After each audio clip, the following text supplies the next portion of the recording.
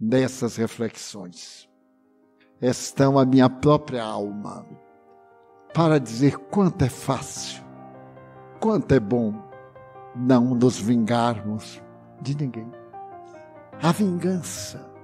Ah, tomara que ele morra. Ué, a gente também vai morrer. Ah, eu hei de ver o fim dele. Vê o fim e morre também, tem seu fim. Então, qual é o antídoto da vingança? A compaixão. Não tenha o sentimento de ser inimigo de ninguém. Mas não se preocupe, porque todos nós, todos, e Jesus também, temos inimigos. Ter inimigo é uma coisa, ser inimigo é outra. E nós, cristãos, não somos inimigos de ninguém.